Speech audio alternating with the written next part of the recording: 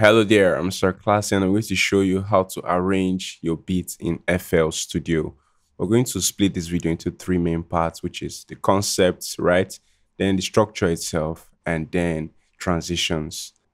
When you're trying to structure out your beats, there are um, some things you should know. You should always have at the back of your mind. You should make sure your structure itself feels familiar. We don't want too many surprises along the way, whether it's your verse, your chorus, your pre-chorus, your hook, wherever the part may be. It should feel familiar, especially when you're entering up the second half of the song, maybe the second verse, the second chorus. You can add a little bit of spice here and there, but overall, it should have the same theme and context as the um, original starting portion of the song, right? And also, you don't want to have your um, beats sounding flat line, like sounding either too high, just staying up there high, or sounding low, just staying there. I'm talking about loudness, I'm talking about the energy level. You don't want to sound too groovy all through or sound too down tempo all through. You want to play with the energy But Even though the song overall may be a groovy track or a down tempo track, you want to move the energy up and down, up and down. You want it to continuously move from a climax to an anti-climax or from a high point to a low point to a midpoint. Like you should have that continuous wave, right? Kind of like a tidal wave. You should go up and down, up and down. This makes it enjoyable for the listener and even the artist that's going to jump on the beats, okay? And also, you want to make sure that your transitions are great. That is, if you're moving from your verse into your hook, it should sound seamless. It shouldn't sound abrupt or sudden. And if you're moving from your intro to your verse or your intro to your chorus, it should sound like it's actually moving through it. Whenever you're trying to build, maybe you're building a verse and an intro is before your verse, make sure you keep playing it back to listen and make sure that it moves smoothly between the intro and the verse. Okay, then same thing with your chorus, pre-chorus, and all other parts. And also, a bridge helps connect parts of a song. Maybe you are trying to move from a verse to your um, hook, and it sounds too abrupt. You may introduce a bridge in there to help, just like a real life bridge. Helps connect places, right? So you help connect parts of your song. And also make sure you keep it simple overall. You don't want an overly complicated song structure. Keep it really, really simple as much as you can. I know you want to show that you're a genius, and I believe you are a genius, but keep it as simple as you can. All right, so we have our um, beat right here.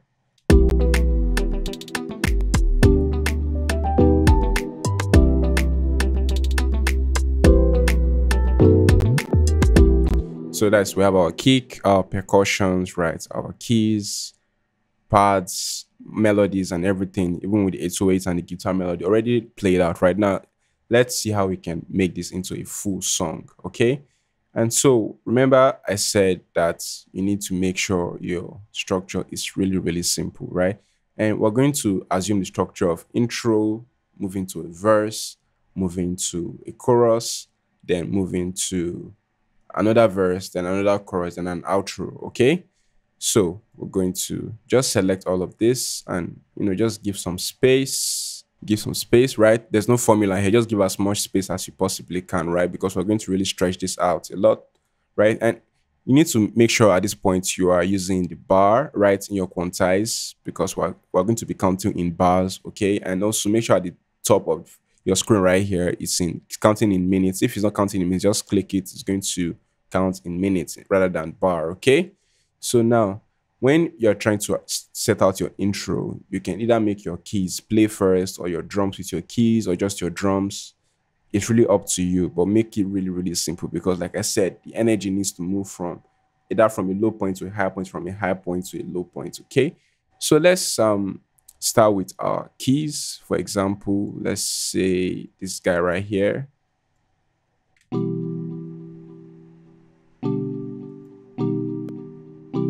And we can most intros are typically within four to eight bars. So let's keep ours at eight bars, okay?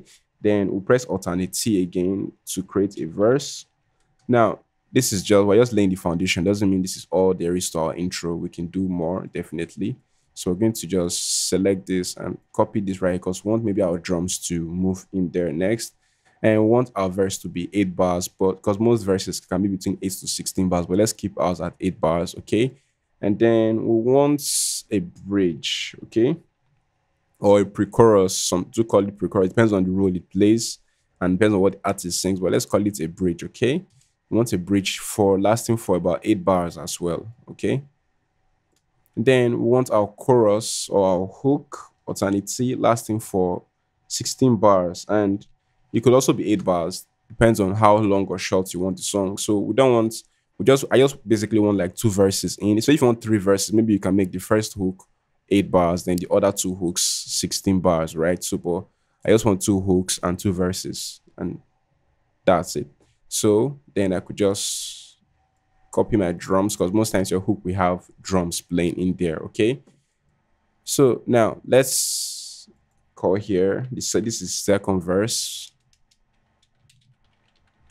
All right, so now let's build down. So if you've been struggling with getting pro mixes, making better beats, recording vocals, I do offer one-on-one training. Yes, one-on-one training. And all you have to do is click the link in the description below that says one-on-one training. You fill a very simple form so I can help understand you better and what you need and how I can help you get there. So when you fill this form, I'm going to get back to you as soon as possible and we can get started on your journey to making much better music in no time. Trust me, it doesn't have to be a house. So making music doesn't have to be a house. You don't have to spend many, many, many endless hours on YouTube looking for tutorials. With just a very short time, within about four to six weeks, roughly within that range, I can get you to your goals in no time. Yes, with money back guaranteed. So don't forget to click the link in the description after you're done with this video to fill up a form and I'm going to get back to you pronto. All right, now let's get back to the tutorial. We're done building sideways. Now let's build down, okay? So we're going to see what elements we got to our intro to make it sound even more interesting. Although some songs have just simple keys like this playing and that could be the intro, for example.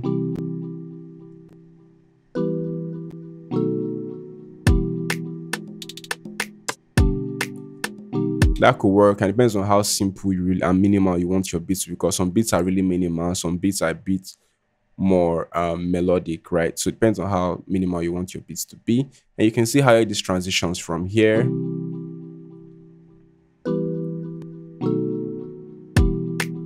see it just flows okay and you have to always make sure every section you're working on flows between the previous and the next it flows it connects okay you don't want it to sound strange and abrupt so let's just copy this in here. Let's see if we've got anything more interesting to our intro, right?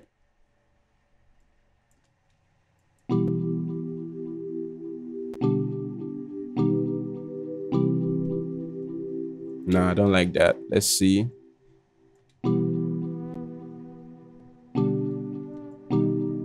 I think I like this.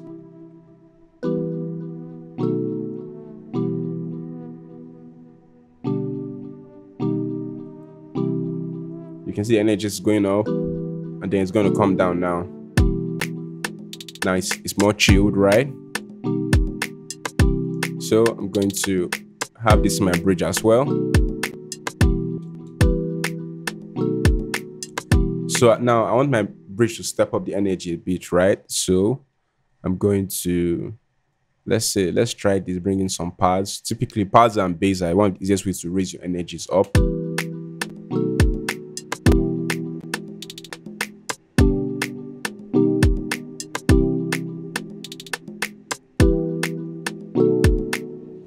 Let's see what other sound can we bring in.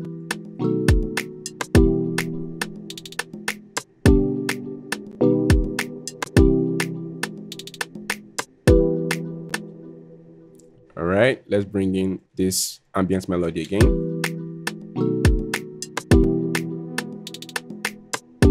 Yeah, now it sounds more like energy is, is um lifting up, right?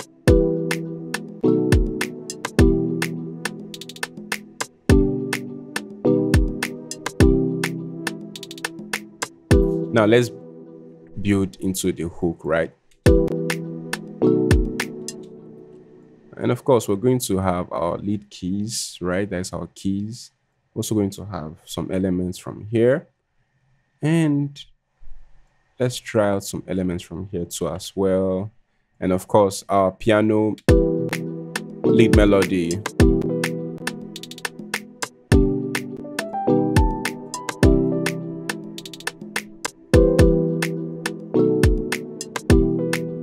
you can see just flows smooth into it, right? So now let's see. And, and a rule of thumb is after every eight bars, you want to make sure something comes in or goes out to keep the energy interesting. So now the, our hook is 16 bars. So we're going to assume we're going to break this into half with our eyes, right? Because this is eight bars, this is eight bars.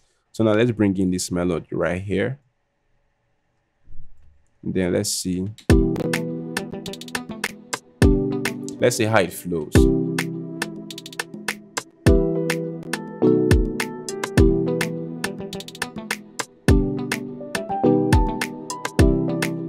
can see that flows, right? It flows in smoothly right now. Time for our bass because I can see we have a bass line right here. So let's see. You can have your bass running through your entire track if you like, and you can just make it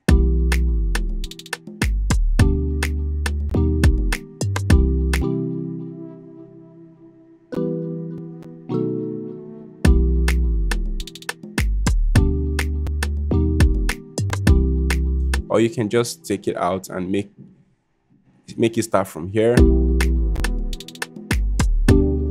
Or you can also take it out here.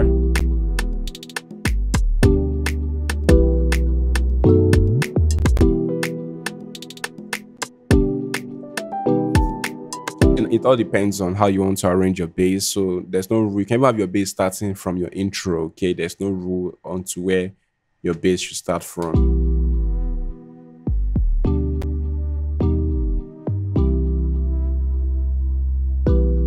So you can have your bass coming at any point, okay? Just make sure it goes with the energy. It doesn't just mess the energy up. It keeps the energy going from up to down, high to low, high to low, climax to anticlimax, okay? So I can see we have this element right here. Now you don't have to use all your elements all the time, but let's see what this sounds like.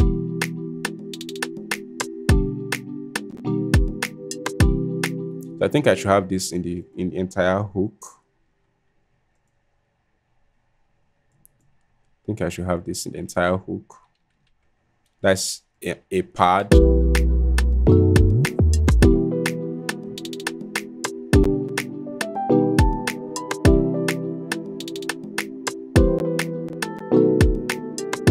You can see how simple the structure is, really predictable and interesting as well. So now we can just go and write, so we're going to repeat this to have a verse again, then a hook, right? So we just get to copy all of this, right? And hold your shift and your left mouse and copy it in here, right?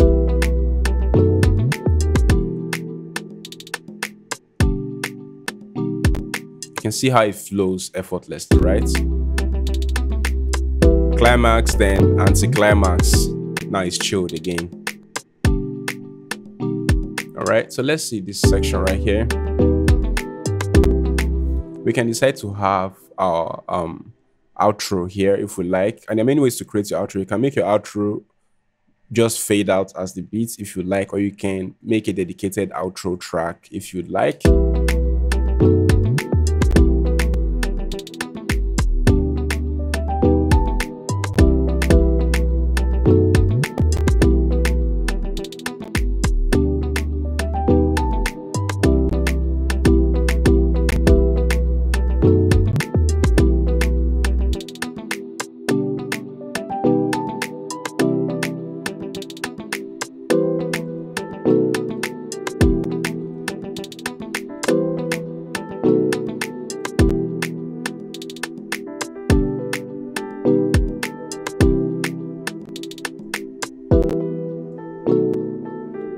That could be your outro. Your outro could be four bars, eight bars, or just a fade off the um, chorus or the verse, depends on where the section is. But let's name this properly. Alternity again.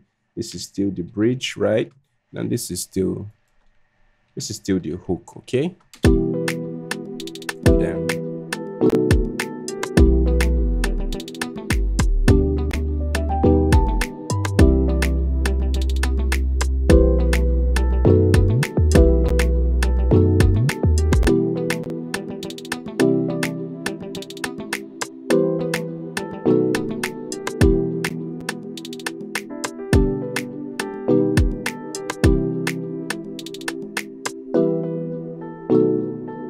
It's all about just moving the blocks around and seeing where it fits best. And onto transitions now, there's some ways you can still spice up our transitions. We could use drum rolls, silence, right? And sound effects, but let's just use silence for example.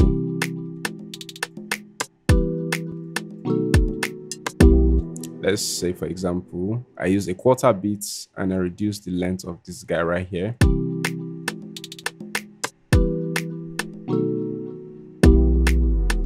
Can see that helps impact the beat some more.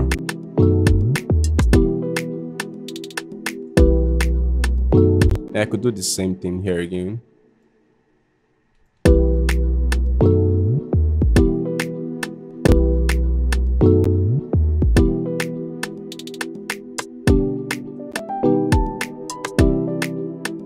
So if you have drum rolls, you can just play your drum rolls in, or you can just do a quick kick roll, right? Or a snare roll, depends. Let me just quickly show it to you. Going to, let's say this is our kick. Where's our kick? So I'm just going to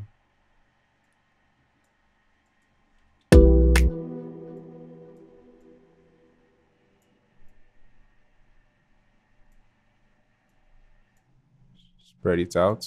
Okay.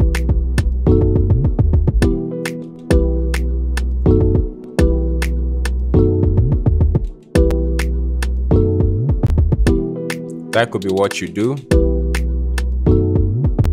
And you can have that also for you. Depends on you, right? But I'm just going to leave that blank, right? That's just an idea.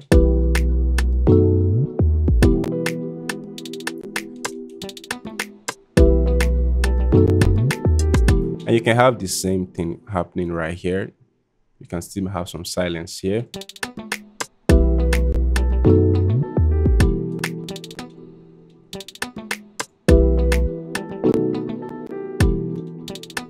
Can still keep taking out elements.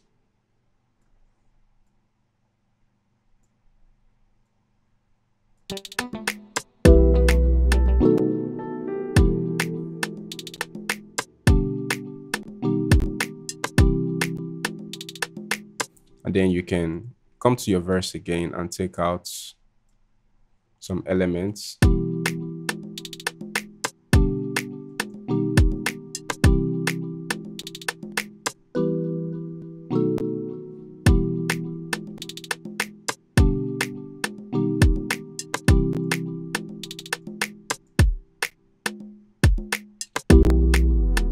That, that, didn't sound as good, but let's take out the kick instead and see.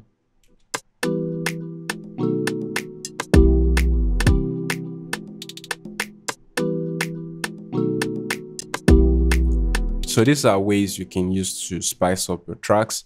You can also use drum rolls to add more spice and sound effects like claps, crashes, reverse um, crash, and all of that to spice up your arrangement. But essentially, this is how you put together a really good arrangement, okay? You make sure your melodies are, are nice, your drums are good, and you can also play new melodies. If you feel like the arrangement isn't, it doesn't suit some of your melodies, you can add new melodies like a solo or an entire new lead melody. Okay, so it doesn't have to. You don't have to st stick to what you already have. Some songs even have multiple lead melodies. Maybe a lead melody in the verse, then a different lead melody in the hook, and different lead melody in the intro, and different lead melody on the outro. Right. So you can have multiple lead melodies. Okay. So just play around with the boxes, move them around, and see how you can make your song interesting. I hope this tutorial helps. I'm Sir Classy. See you next on another tutorial. Hit the subscribe button to keep up with me. Cheers.